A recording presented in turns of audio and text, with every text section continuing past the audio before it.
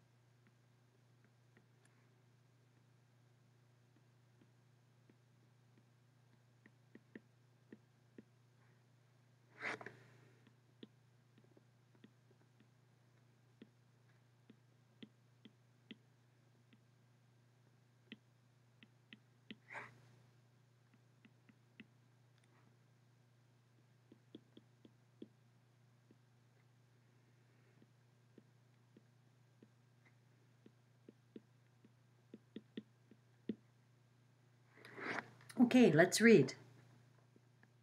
Hello. I am letter L. Are you a letter? Are you a number? This is my lemon tree. There are many lemons on it. They are sour but delicious. I have a lion. Do you have a lion? No? Oh. My lion eats my lemon tree lemons every day.